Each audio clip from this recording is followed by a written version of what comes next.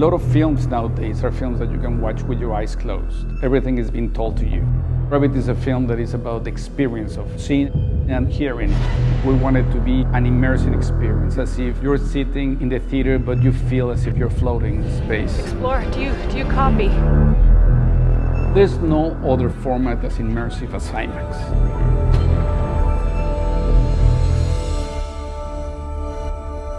When we were designing the film, we were clear that we didn't want to do a futuristic film.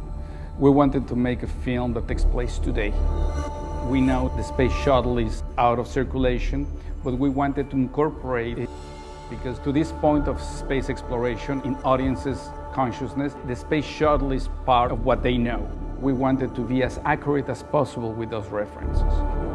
We needed to explore the design of the Hubble telescope, the shuttle, the ISS, International Space Station. I think our biggest reference was uh, the Hubble documentary. That for me is my personal favorite in IMAX. IMAX was our Bible. Resolution in the detail was invaluable. We would explore the way in which astronauts move in space and the amazing craziness that is action reaction when you are in zero gravity with no resistance.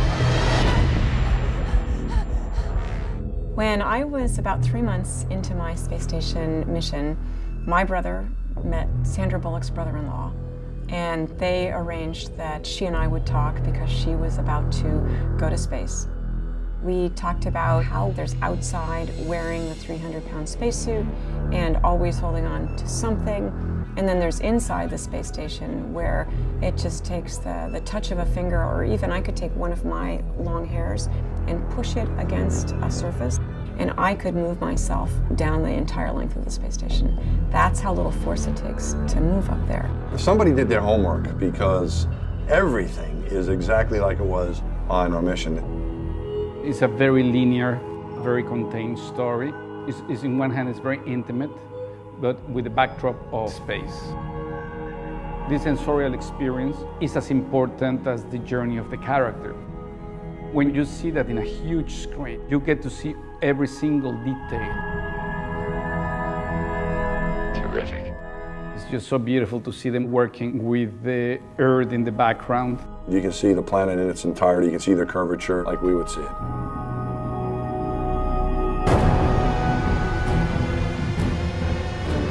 When the action begins to happen, we start following our character in a very close one-person narrative.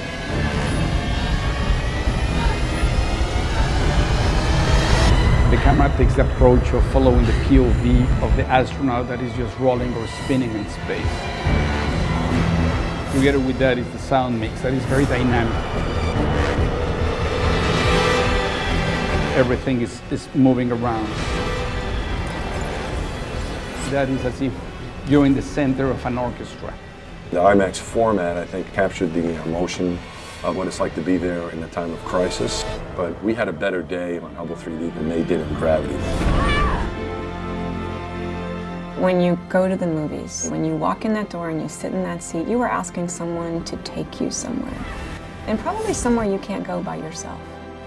You know, the big format, the beautiful views, brings back a lot of good memories. I believe in magic. And a film like this in this IMAX format, Houston, please come in. you get to go.